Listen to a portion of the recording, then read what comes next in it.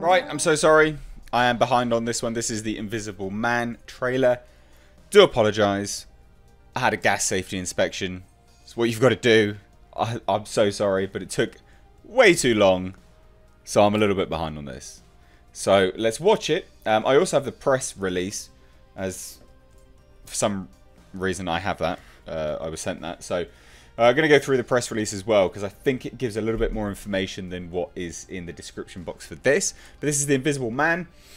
Um, interesting uh, concept, I think, this one. But I haven't seen this trailer, so let's get into it and, and kind of see what we think, shall we? As the attorney representing Adrian's trust, I'm required to read a prepared statement. Cecilia, although our relationship was far from perfect, I thought that you would talk to me rather than run away. Are you okay? What happened to him? He cut his wrist. Per his final wishes, you're getting $5 million. Contingent, of course, on the fine print. He can't be ruled to be mentally incompetent. It just doesn't make any sense. What? Adrian wouldn't kill himself. Listen, you're getting your freedom back, okay? Don't let him haunt you. Hello? Oh. I'm scared. You don't have to be scared of him anymore. He was a sociopath, completely in control of everything. He said that wherever I went, he would find me, walk right up to me, and I wouldn't be able to see him. Are you okay? Someone sitting in that chair. Mm-hmm. I found something that can prove what I'm experiencing. You need help. Adrian is dead. I went to his house today. He's not dead. I have a pile of ashes in a box that would disagree with you. He has figured out a way to be invisible. Only thing more brilliant than inventing something that makes you invisible is coming up with the perfect way to torture you, even in death. Interesting. Adrian's true genius was how he got in people's heads. Don't come any closer. Hey! I'm not crazy. Please listen to me. You're saying the person trying to kill you is in the room right now, but we can't see him? He's listening. Where are you? Where are you? Show yourself! Come on! Do it! There you are. Uh, okay. Um, I don't know what to make of that. So, hmm. So the okay, so the press release is Universal Pictures is delighted to debut the official trailer for The Invisible Man. What you can't see can hurt you. That's the tagline. Emmy winner Elisabeth Moss, Us, *Who Hulu's The Handmaid's Tale, stars in a terrifying modern tale of obsession. Mm, inspired by Universal's classic monster character.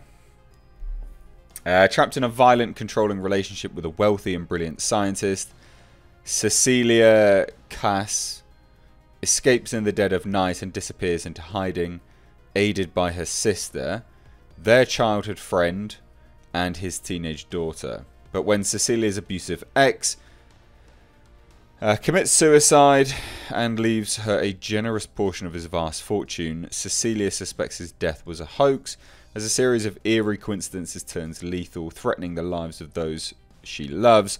Cecilia's sanity begins to unravel as she desperately tries to prove that she is being haunt- hunted by some by someone nobody can see. Uh, Jason Blum, our current day master of horror genre, produces The Invisible Man for his Blumhouse Productions. The Invisible Man is written, directed, and executive produced by Leigh Whannell, who is great. One of the original conceivers of the Saw franchise and who most recently directed Upgrade and Insidious Chapter 3. He is good. Upgrade was good. Uh, yeah, I don't know about this. The original, look, the original uh, Invisible Man was a novel by H.G. Wells, right?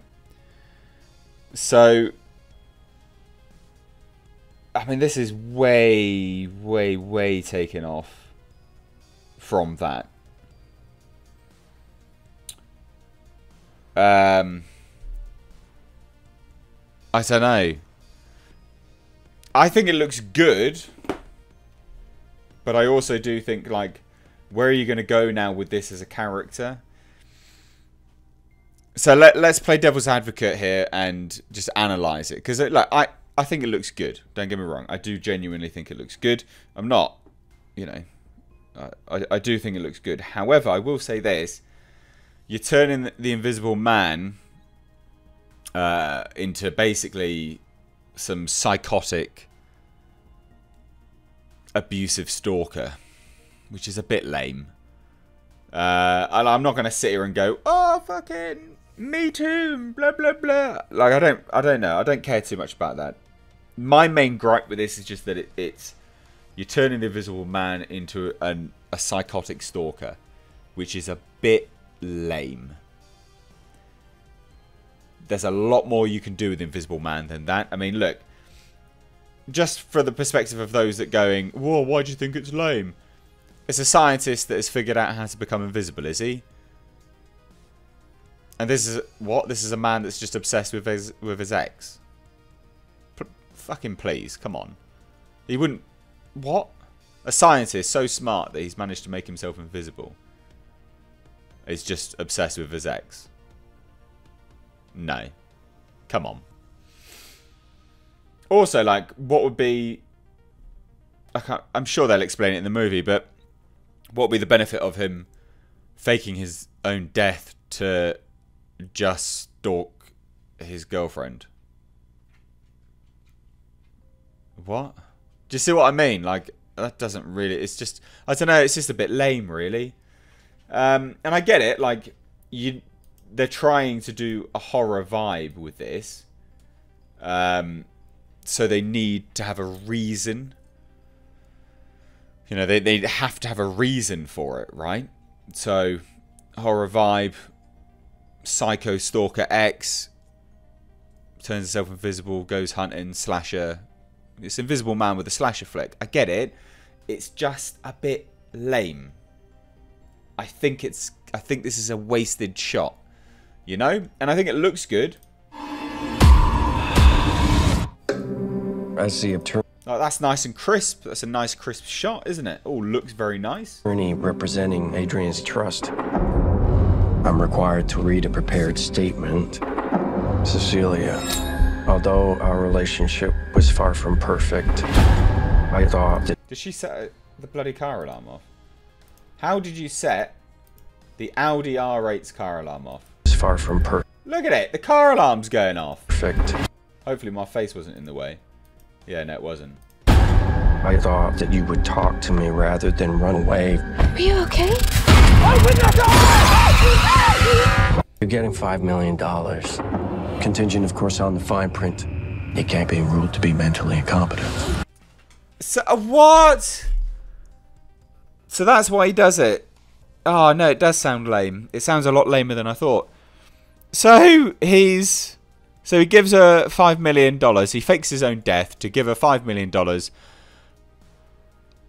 But only if she's not ruled mentally incompetent. So he then makes himself invisible to make her mentally deemed incompetent so that she doesn't get $5 million. So don't fake your own death to give her $5 million anyway. Because you can't come back from that if you faked your own death, you fucking idiot. Ah, uh, no, this is lame. This is lame. I'm, just wrapping my head around it now. It is lame. Ah, oh, God. What a wasted shot. Whatever. What do you guys think? I'm sure there'll be a bunch of people bitching at me in the comments, but what do you think? I just, I think there's some big plot holes there already, even just from the trailer. Anyway, let me know down below in the comments. If you're new here, do hit subscribe. As always, I'm Mr. H. Take care.